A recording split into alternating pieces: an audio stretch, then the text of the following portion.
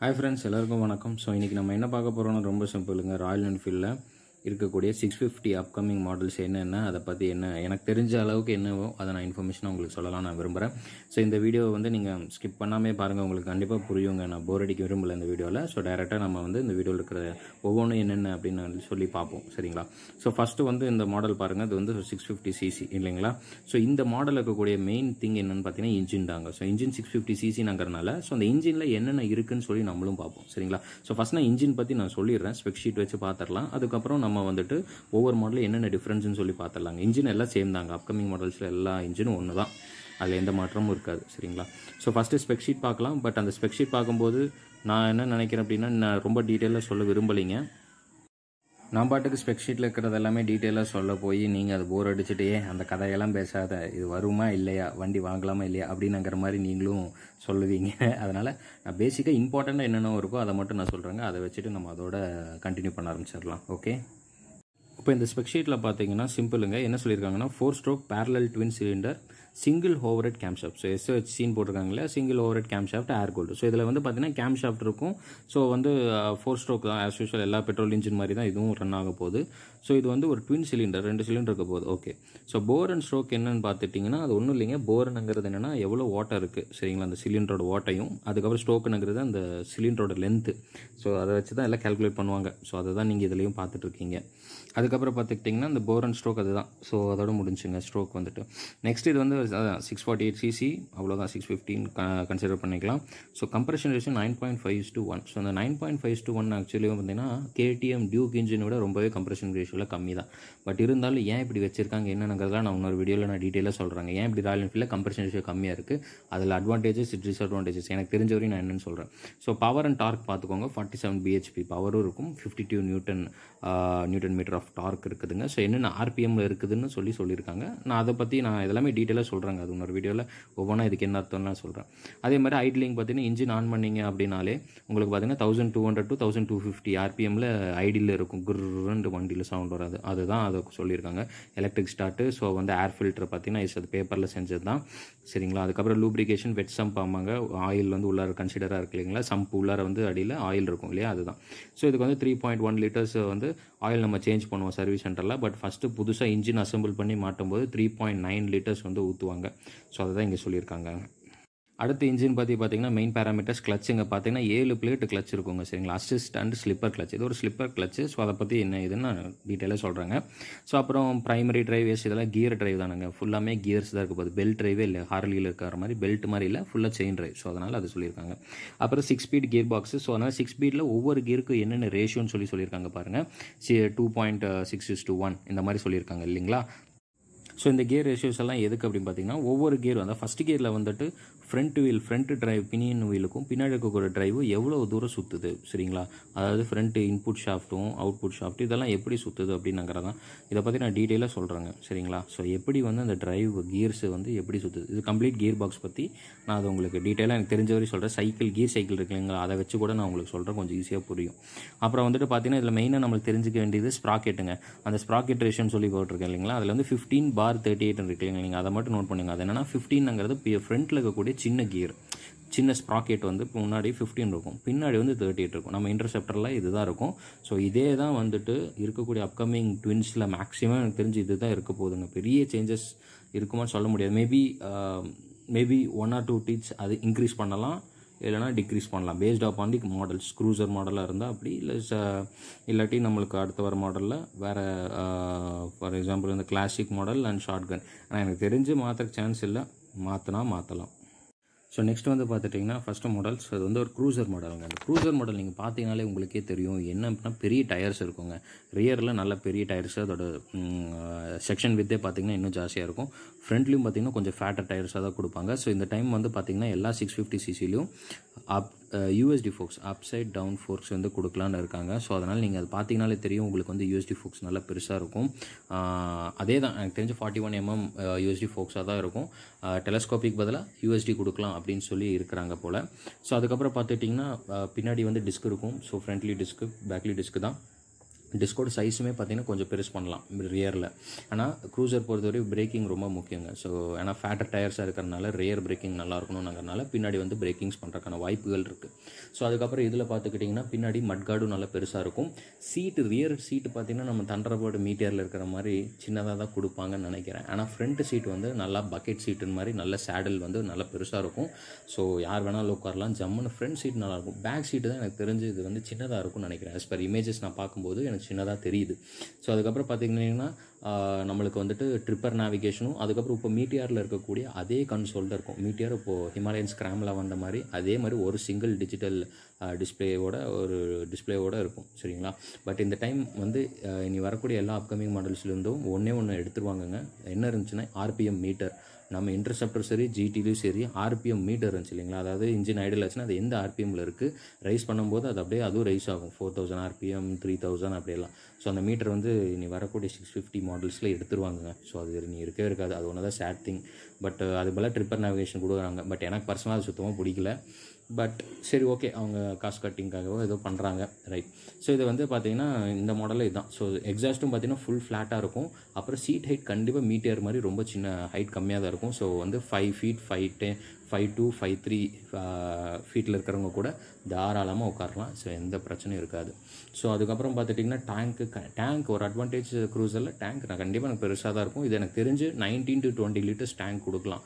பழைய தண்டர்பர்டில் இருந்த கூடிய அந்தளவுக்கு பெரிய லார்ஜ் டேங்க் மேபி மீட்டியரில் ஃபிஃப்டீன் ஸோ அதனால் இந்த டைம் வந்துட்டு இந்த சிக்ஸ் ஃபிஃப்டி மீட்டியரில் எனக்கு தெரிஞ்சு டுவெண்ட்டி லிட்டர்ஸ் டேங்க் சாலிடாக தரலாம். Twenty to twenty two litres கூட தரலாம். ஏன்னா சிக்ஸ் ஃபிஃப்டினால பெருசாக தரணுன்ட்டு டேங்க்கு கண்டிப்பாக பெருசு பண்ணணும் க்ரூசர்னாலே ஸோ அது ஒன்று இருக்கும். ஹேண்டில் பார் எல்லாம் கம்ஃபர்டபுளாக இருக்குங்க. ஸோ அதெல்லாம் எந்த ப்ராப்ளமும் இருக்காது. எலக்ட்ரானிக்ஸ் பொறுத்தவரையும் பார்த்தீங்கன்னா ராயல் என்ஃபீல்டு எப்போவுமே எலக்ட்ரா எலக்ட்ரானிக்ஸும் சரி எலக்ட்ரிக்கலும் சரி கம்மியாக தான் வச்சுருப்பாங்க. ஸோ அதில் அட்வான்டேஜ் இருக்குது டிஸ்அட்வான்டேஜஸ் இருக்குது பட் அதை பற்றி நான் ஒரு இதில் சொல்கிறேங்க என்ன இதுன்ட்டு ஸோ எப்பவும் போல் சாதாரண ஹெட்லாம்ப்ஸு ஹாலஜன் தான். ஹாலஜன் ஹெட்லாம்ப்ஸு பின்னாடி வந்து டிஆர்எல் இருக்கக்கூடிய டெய்ல் லைட்டு இண்டிகேஸ் எல்லாமே ஹாலஜன் தான் நினைக்கிறேன். கம்ப்ளீட் ஹெல்டியாக இருக்காது. ஸோ அது வேணால் நீங்கள் மாற்றிக்கலாம் மீட்டரில் இருக்கிற மாதிரி தான் கொடுக்க கொடுக்குறதா இருப்பாங்கன்னு நினைக்கிறேன். இன்ஜின் வந்து பிளாக் இன்ஜின் ஃபுல்லாக பிளாக்காக தான் இருக்கும்னு நினைக்கிறேன். மேபி சேஞ்ச் பண்ணலாம்னா பிளாக்காக தான் இருக்கும். இந்த மாதிரி க்ரோம் இது வந்து கொஞ்சம் கம்மி பண்ணுறாங்க போல் கம்ப்ளீட்டாக பிளாக்காக இருக்கிற மாதிரி கொடுக்க விரும்புகிறாங்க போல்.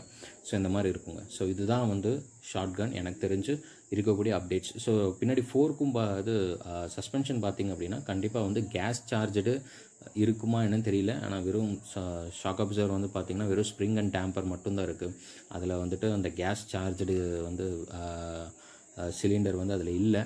ஸோ அப்படி இருக்குமா என்னன்னு தெரியல. பட் அட்ஜஸ்டபிள் பண்ணிக்கலாம். ஸ்ப்ரிங் வந்து நீங்கள் அந்த கம்ப்ரெஷன் வந்து நீங்கள் அட்ஜஸ்ட் பண்ணிக்கலாம். அது இருக்கும். ஸோ இது மட்டும் என்னென்னு பார்க்கலாம் ஸோ இதில் க்ரூசரில் சில டிஸ்அட்வான்டேஜ் இருக்குங்க. க்ரூசர் மாடலில் சில டிஸ்அட்வான்டேஜ் இருக்கும். அதெல்லாமே நான் இன்னொரு வீடியோவில் சொல்கிறேன் சரிங்களா? இப்போ நெக்ஸ்ட்டு வந்து நம்ம என்ன பார்க்க போகிறோம்னா நெக்ஸ்ட்டு வந்துட்டு நம்ம கிளாசிக் சிக்ஸ் ஃபிஃப்டியே பார்க்க போகிறோம் so Classic three fifty already நீங்கள் பார்த்துட்டீங்க. கிளாசிக் த்ரீ ஃபிஃப் சிக்ஸ் ஃபிஃப்டி பார்த்தீங்கன்னா கம்ப்ளீட்லி அதே தான் six fifty engine CC engine so அதே மாதிரி யூஎஸ்டி ஃபோக்ஸ் அலாய் வீல்ஸு எல்லாமே கொடுத்துருவாங்க. ஒன்லி திங் என்னென்னா ஃபூட்டிங் பொசிஷன் க்ரூசரில் நல்லா முன்னாடி வைப்பீங்க. ஸோ இதில் வந்து எப்படின்னா சென்டராக வைப்பீங்க. சரிங்களா? அதாவது இன்டர்செப்டர் இருக்கும் க்ரூ மீட்டியாக இருக்கும் நடுவில் கால் வச்சா இப்போ இருக்கும் ஸோ அந்த மாதிரி வைப்பீங்க. ஸோ அப்படி இருந்தனா சிம்பிளுங்க அது கிளாசிக் அவ்வளோதான் என்ன கொஞ்சம் வீல் பேஸ் வந்து கொஞ்சம் பிட்வீன் தட் மீட்டியர் அதாவது மீட்டர் சிக்ஸ் ஃபிஃப்டிக்கும் இன்டர்செப்டர் கூட கொஞ்சம் ஒரு கொஞ்சம் லென்த் ஜாஸ்தியாக இருக்கும். அதாவது அதுக்கு நடுவில் வரும்னு வைங்களேன். ஸோ இது ரெண்டுக்கும் நடுவில் இருக்கும் வீல் பேஸு அதே மாதிரி டயர்ஸும் பார்த்தீங்கன்னா கொஞ்சம் லென்த் ஜாஸ்தியாக இருக்கும். க்ரூசரில் ரியர் டயர் வந்து கொஞ்சம் ரிம் சைஸ் கம்மியாக தான் இருக்கும். கிளாசிக்கில் கொஞ்சம் ஜாஸ்தியாக இருக்கும். சரிங்களா? அதை இன்டர்செப்டர் மாதிரி தான் வைப்பாங்கன்னு நினைக்கிறேன். ஸோ அதே மாதிரி எயிட்டீன் இன்ச் வீலாக தான் இருக்கும். ஸோ இதில் வந்துட்டு அதான் ஃபுட் பொசிஷன் மெயினாக தான் இருக்கும். ப்ளஸ் லுக் எல்லாமே கொஞ்சம் மாற்றிருக்காங்க சரி நீங்கள் இந்த இமேஜில் பார்த்தீங்கன்னா தெரியும். உங்களுக்கு டோட்டலாக எப்படி இருக்குது அந்த ஃபுட் பொசிஷனுக்கு வந்து சைடு கேஸ் எல்லாமே பாருங்கள் டோட்டலாக வேறு மாதிரி இருக்கு. லைக் கம்பேர் டு மீட்டர் மாதிரி இருக்குது பட் இது மீட்டர் இல்லை. அப்புறம் எக்ஸாஸ்ட் பார்த்தீங்கன்னா கொஞ்சம் லைட்டாக மேலே தூக்கி. க்ரூசரில் நல்லா கீழே இறங்கியிருக்கும். எக்ஸாஸ்ட் சைலன்சர்லாம் இதில் கொஞ்சம் லைட்டாக மேலே லிஃப்டாக இருக்கும். ஸோ சீட்டும் அதே மாதிரி பார்த்தீங்கன்னா சின்னதாக தான் கொடுத்துருக்காங்க. ஸோ அதே மாதிரி ஹெட்லாம்ப்ஸ் இண்டிகேட்டர் இதெல்லாம் பார்த்துக்கோங்க. டெய்ல் லேம்ப் எல்லாமே பார்த்துக்கோங்க எப்படி இருக்குன்ட்டு. டயர் சைஸ் பார்த்தீங்கன்னா கொஞ்சம் வித்து கம்மியாக இருக்கும். க்ரூசர் விட கொஞ்சம் வித்து கம்மியாக தான் இருக்கும். ஸோ இதில் அட்வான்டேஜஸ் டிஸ்அட்வான்டேஜஸ் இருக்குது அதாவது ப்ளஸ் இருக்குங்க என்னென்னா மைலேஜ் கொஞ்சம் கொடுக்கும். ப்ளஸ் வந்து நீங்கள் கார்னரிங் பண்ணுறதுக்கு உங்களுக்கு கொஞ்சம் நல்லாவே இருக்கும். பட் ஃபேட்டர் டயராக இருந்தால் கார்னரிங் பண்ணுறது கொஞ்சம் கொஞ்சம் டிஃபிகல்ட்டாக இருக்கும்னு வைங்களேன் நம்மளுக்கு. பட் தின்னாக இருந்ததுன்னா ஈஸியாக நம்மளால் கார்னரிங் பண்ண முடியும். ஸோ இதுதான் இது ஸோ அதனால் கொஞ்சம் ஹைட்டும் ஏற்றிருப்பாங்க பெடல் ஹைட் எல்லாமே கொஞ்சம் ஹைட்டாக இருக்கிறனால நம்மளுக்கு வந்து க்ரூசர் அளவுக்கு ரொம்பவே கீழே தட்டாது. சரிங்களா? நம்ம இந்தியன் ரோட் கண்டிஷனு கிளாசிக் வந்து நல்லா இருக்கு இல்லைங்களா? ஸோ அதே மாதிரி சிக்ஸ் ஃபிஃப்டிலேருந்து எப்படி இருக்கும்? கொஞ்சம் பவராக இருந்தால் எப்படி இருக்கும்? ஸோ அந்த மாதிரி கொடுக்கலாம் அப்படின்னு சொல்லி இவங்க நினைக்கிறாங்க. ஸோ மற்றபடி வேறு எதுலேயும் பெரிய சேஞ்சஸ் எதுவுமே இருக்காதுங்க. சரிங்களா? உங்களுக்கு கிளாசிக் லவராக இருந்தீங்கன்னா எனக்கு பவர் வேணும் த்ரீ ஃபிஃப்டி எனக்கு பத்தலை அப்படின்னு நினச்சேன்னா கண்டிப்பாக இதை நீங்கள் அப்கிரேட் பண்ணலாம். சூப்பரான வண்டி தான் கிளாசிக் ஃபிஃப்டி ஸோ இதை பற்றி பார்த்தீங்கன்னா நிறைய இமேஜஸ் வந்தது. ஸோ அந்த இமேஜஸ் தான் நான் போட்டிருக்கேன். நீங்கள் அதை பார்த்தீங்கன்னா உங்களுக்கே தெரியும். அதை படி பார்த்தீங்கன்னா தெரியும். இன்ஜின் வைஸ் எல்லாம் ஒன்று தான் ஸோ ஸ்பீடோமீட்டர் கன்சோல் எல்லாமே பார்த்தீங்கன்னா சேம் வந்து கிளாசிக் மாதிரி கொடுப்பாங்களான்னு தெரியல. ஸோ இந்த டைம் பார்த்தீங்கன்னா மேபி இதுலேயும் வந்து அதே மாதிரி சிங்கிள் டயல் ப்ளஸ் ட்ரிப்பர் இந்த மாதிரி தான் கொடுப்பாங்க நான் நம்புகிறேன் சரிங்களா? கிளாசிக்கில் இருக்கிற மாதிரி ஹெட்டு வந்து கம்ப்ளீட்டாக சேஞ்ச் பண்ணிடுவாங்க இந்த இதில். ஸோ அதனால தான் பார்த்தீங்கன்னா உங்களுக்கே தெரியும். அலாய் வீல்ஸு கண்டிப்பாக டிசைன் பேட்டர்ன் டிஃப்ரென்ஸ் இருக்கும்னு நினைக்கிறேன். க்ரூசருக்கும் கிளாசிக்குக்கும் சரி கண்டிப்பாக வந்துட்டு அந்த அலாயோட பேட்டர்ன் அந்த டிசைன் வந்து கண்டிப்பாக சேஞ்சஸ் இருக்கும். சரிங்களா? அந்த கிளாசிக் வந்து கொஞ்சம் ஹைட்டாக இருக்கிறனால குரூ மீட்டியார் விட கொஞ்சம் ஹைட்டாக இருக்கும். ஸோ அதனால் நீங்கள் பேனியர்ஸ்லாம் ஈஸியாக நீங்கள் மாட்டிக்கலாம். சரிங்களா? ஸோ அது ரொம்ப அட்வான்டேஜஸ் தாங்க உங்களுக்கு. ஸோ பார்த்தீங்கன்னா தெரியும் நான் இமேஜஸ் காட்டுறேன். அப்கமிங் பார்த்தீங்கன்னா தெரியும் சைடில் பேனியர்ஸ் டாப் பாக்ஸ் இதெல்லாம் மாட்டின மாதிரி இமேஜஸ் இருக்குது நீங்கள் அது தாராளமாக அது வந்து கண்டிப்பாக கண்டிப்பாக உங்களுக்கு வந்து ஆக்சசரியில் கொடுப்பாங்க. ஃபிட் பண்ணிட்டு நீங்கள் பாட்டு லடாக்கு இல்லை எங்கே வேணால் நீங்கள் ட்ரிப் அடிக்கலாம். கீழே வந்து உங்களுக்கு கிரவுண்ட் கிளியரன்ஸ் நல்லாவே கொடுப்பாங்க. மீட்டரை விட ஜாஸ்தியாகவே இருக்கும் கண்டிப்பாக அதனால் உங்களுக்கு கீழெல்லாம் தட்டாது. ஸோ பயப்படாமல் நீங்கள் பாட்டுக்கு ஆஃப் ரோட்லேருந்து ஆஃப் ரோடும் பண்ணலாம் ஆன் ரோடும் பண்ணலாம். Cruiser Meteor six fifty completely road based தான். ஆஃப் ரோடு வந்து not recommended actually but you can but not recommended அவ்வளோதான் சரிங்களா? ஸோ தட்ஸ் இட் ஒன்று சொல்ல மறந்துட்டாங்க. இதில் வந்து விண்ட்ஷீல்டு கண்டிப்பாக தருவாங்க. கிளாசிக் சிக்ஸ் ஃபிஃப்டி மாடலில் க்ரூசரில் கண்டிப்பாக விண்ட்ஷீல்டு இருக்கும். இதுலேயும் இருக்கும். ஸோ அதனால் நீங்கள் பயப்படாமல் இந்த வண்டி வாங்கலாம். வின் பிளாஸ்ட் அதெல்லாமே பெருசாக இருக்காது ஹை ஸ்பீடில் தாராளமாக உங்களுக்கு கிளாசிக்கு விண்ட்ஷீல்டு சூப்பராக சூட் ஆகிற மாதிரியான டிசைனில் கண்டிப்பாக தருவாங்க. கிராஷ் கார்டு எல்லாமே சூப்பராக இருக்கும். எனக்கு தெரிஞ்ச மீட்டர் விட எனக்கு கிளாசிக் சிக்ஸ் ஃபிஃப்டியில் தான் எனக்கு ரொம்பவே இன்ட்ரெஸ்ட்டாக இருக்கேன். நான் அந்த வண்டி வந்து பர்ஃபெக்டாக உங்களுக்கு ஆன் ரோட்லேயும் பண்ணலாம் ஆஃப் ரோட்லேயும் தாராளமாக அவங்க பண்ணலாம். சரிங்களா? கம்ப்ளீட் ஆஃப் ரோட் பண்ண முடியலனாலும் யூ கேன் டூ இட் சரிங்களா? ஓகே நம்ம இப்போ லாஸ்ட்டாக என்ன பார்க்க போகிறோம் அப்படின்னு பார்த்தீங்கன்னா ஷார்ட் கன் சிக்ஸ் ஃபிஃப்டிங்க ஸோ இது வந்து கண்டிப்பாக வரப்போகுது. இந்த மாடல் ஒரு லான்ச் பண்ண தான் போகிறாங்க எதுக்கு அப்படின்னாக்கா ஒரு பாபர் ஸ்டைல் இருக்கிற மாதிரி. ஸோ மற்ற காம்படிட்டர்ஸ்க்கு இருக்கிற மாதிரியே நம்ம ராயல் என்ஃபீல்டும் பார்த்திங்கன்னா அவங்க வந்து இந்த மாதிரி ஒரு பாபர் ஸ்டைலில் கொடுக்கலான்னு இருக்காங்க. ஸோ அதே மாதிரி வீல் பேஸ் பார்த்தீங்கன்னா இன்டர்செப்டர் மாதிரி கொஞ்சம் கரெக்டாக சின்னதாக தான் இருக்கும். Thousand three ninety MM wheel பேஸில் தான் இருக்கும். வீல் பேஸ்னால் ஒன்றும் இல்லைங்க. ஃப்ரண்ட் வீல் பேக் வீலுக்கும் அந்த சென்டர் ஆக்சில் இருக்கு இல்லைங்களா? அந்த இடப்பட்ட டிஸ்டன்ஸ் அதுதான் வந்துட்டு வீல் பேஸ் ஸோ இது வந்து பார்த்தீங்கன்னா இன்டர்செப்டரில் இருக்கிற மாதிரி தான் இருக்கலாம். சைடில் பார்க்கும்போது பெருசாக இருக்கும் ஃப்ரண்ட்டில் பார்க்கும்போது பெருசாக இருக்கும். ஆனால் இன்டர்செப்டர் பாபர் பொறுத்தவரையும் சாரி பாபர் பொறுத்தவரையும் வீல்ஸ் நல்லா ஹெவியாக இருக்கணும். ஃபெண்டர்ஸ் அதாவது மட்கார்டு எல்லாமே கொஞ்சம் நல்லா பெருசாக கொடுப்பாங்க. அது கொடுக்கும்போது ஒரு நல்ல ஒரு பல்கி நேச்சர் இருக்கும். மெயினாக இதில் வந்து சிங்கிள் சீட் இருந்தால் தான் பாபரோட அழகே. ஸோ பாபர்னாலே சிங்கிள் சீட் மட்டும்தான் இருக்கும். ரியர் சீட் வந்து இதில் மேபி ஆப்ஷன்லாம் வேணால் கொடுக்கலாம். பட் வந்து கம்பல்சரி தர மாட்டாங்க. உங்களுக்கு சிங்கிள் சீட் தருவாங்க. நீங்கள் வேணால் அது போட்டுக்கிற மாதிரியாக தான் இருக்கும் ஒழிய ரெண்டு சீட்டாக வராது. ஸோ நீங்கள் சிங்கிள் எனக்கு வந்துட்டு இது பர்ஃபெக்டாக எனக்கு ஒரு ஸ்டைலாகவும் இருக்கும். நான் இங்கே சிட்டியில் கெத்தாக ஓட்டுவேன் அப்படின்னாக்கா பாபர் மாதிரி வேறு எந்த வண்டி வராதுங்க. உங்களுக்கு அட்டென்ஷன் கிராப் பண்ணோம் அப்படின்னாக்கா சிட்டிலையும் சரி ஹைவேஸில் கூட பண்ணலாங்க. Not a back one and only நீங்கள் அதுக்கு நம்ம நம்ம வண்டி ரெடி பண்ண அவ்வளோ சிட்டியில் தான் மெயினாக ஃபோக்கஸ் பண்ணி ஓட்டிங்க அப்படின்னாக்கா உங்களுக்கு ஒரு கெத்தா வீட்டுக்கு முன்னாடி ஒரு அழகாக ஒரு வண்டி வைக்கணும் அப்படின்னா பாபர் மாதிரி வேறு எந்த வண்டியும் வராதுங்க. ஸோ அதுதான் பாபரோட ஸ்டைலு அது ஒரு கம்ப்ளீட் ஒரு ஸ்டைலுங்க நீங்கள் ஒரு பாரில் போய் நீங்கள் அங்கே வண்டி நிறுத்துறீங்க ஒரு இடத்துல போய் நிறுத்துறோம் அப்படின்னாலே அந்த இடம் ஃபுல்லாக இருக்கிறவங்க எல்லாம் உங்கள் வண்டியை தான் பார்ப்பாங்க. ஸோ அதுதான் மெயின் பாபரோட ஸ்டைலு சரிங்களா? அமெரிக்கனோட ஸ்டைல் மாதிரி. ஸோ இவ்வளோதாங்க பாபர். ஸோ இன்ஜின் எல்லாம் ஒன்று extra fittings and other seating position இதெல்லாம் சேர்த்து தான் இந்த சிக்ஸ் ஃபிஃப்டியில் இருக்கக்கூடிய எல்லாமே சேஞ்ச் பண்ணுறாங்க சரிங்களா? எனக்கு தெரிஞ்சு வந்து பவர் ட்ரெயினில் வந்து கை வைக்க சான்ஸ் இல்லை. பவர் ட்ரெயினை பிஹெச்பி டார்க்கில் வந்து ஆல்டர் பண்ணுற மாதிரி எஸ்டியில் இருக்கிற மாதிரி. அந்த மாதிரி இவங்க பண்ணுறக்கு எனக்கு சான்ஸ் இல்லைன்னு நினைக்கிறேன். ஆரியில் அப்படி பண்ணுவாங்களான்னு தெரியல. இதுவரையும் அப்படி பண்ணதில்லை. ஸ்க்ராமும் ஹிமாலயன் விட்டாங்க. சே எதுவுமே இல்லை. பவர் டார்க்கில் எந்த ஒரு சேஞ்சஸும் இல்லை. இதுலேயும் இது பண்ணுவாங்களா அப்படின்னும் தெரியல. மேபி எக்ஸ்பெக்ட் பண்ணலாம் பட் எனக்கு தெரிஞ்சு பண்ணுறக்கு சான்ஸ் இல்லைங்க. சரிங்களா? ஏன்னா அவங்க ஃபியூவல் எஃபிஷியன்சி பார்ப்பாங்க இல்லையா? ஸோ அதனால் அப்படி சேஞ்ச் பண்ணுறக்கு சான்ஸ் இருக்காது. So thank you thank you for